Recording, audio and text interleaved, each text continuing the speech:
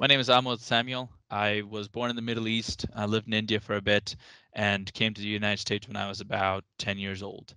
I've lived in Indiana and Oklahoma, most recently in Lancaster, California, where I am right now. I work over at Armstrong Flight Research Center in Edwards, California, and I work there as the lead electronics engineer for the simulation hardware group. Although the simulation group mainly focuses on a variety of different projects as the researchers need simulation capabilities, one of my major tasks right now is to build the hardware side for the X-59 low boom flight demonstrator. That's a really neat project. Throughout my time at NASA, I've had the opportunity to work with a variety of different interns, and I've enjoyed every experience, and every experience is a little bit different. Uh, each time, each intern is different, what their abilities are different, and even the projects projects that they've been working on, that they will be working on, is new and different in their own way. So each one has its own challenges and is exciting in its own way.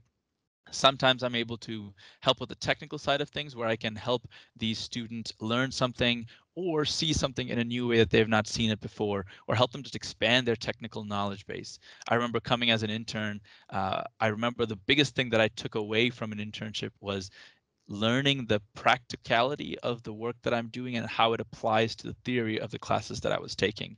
And that was such an invaluable experience that I try to convey that to my students as well, that they can learn tangibly what they're what they're learning theoretically in class and be able to uh, just get a deeper understanding of what they're learning so they can actually contribute meaningfully to the work that they will be doing in the future, whatever that might be. So in dealing with my interns, I like to you know expand their technical skill, but also uh, see how we can develop their uh, leadership skills as well. So as an intern, as interns who come work for me, I try to give them a fair bit of responsibility and let them take ownership of a project so that it is theirs and they will be making the connection to other people and talking to other people and presenting to other people. So they get more than just the technical skills, but really what does it look like to work in a team and more than just in a team, work at a center that works at an agency, uh, which is NASA.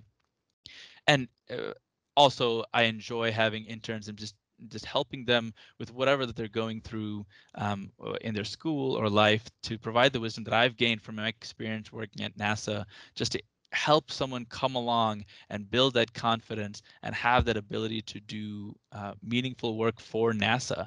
I remember coming in and being, uh, as an intern, coming in and being overwhelmed by how much I don't know. And then over time realizing that there's nothing magical or special about the folks who work here at NASA. They are just people and they have great skills that they've developed through experience. And I want to uh, to impart that onto the interns so they know that anybody can work for NASA and you can develop your skills and really learn some uh, neat new uh, things. So if you're watching this and you are have never considered maybe an internship for NASA, I highly encourage you to do it. I have had a variety of students work for me from Masters of Fine Arts students to math majors to engineering majors. There is such a, a, a great uh, breadth of people who work at NASA that regardless of your major, you should really consider what it looks like to take on an internship working for NASA. Don't be scared. Don't think that it is way beyond your league or it's beyond your capabilities. The part of an internship is that you develop your skills, you learn about NASA, and you can become uh, better at what you are learning in school. So please, I encourage you, get an internship at NASA. Don't feel like you can't do it because you, whoever you are watching it right now, you absolutely can.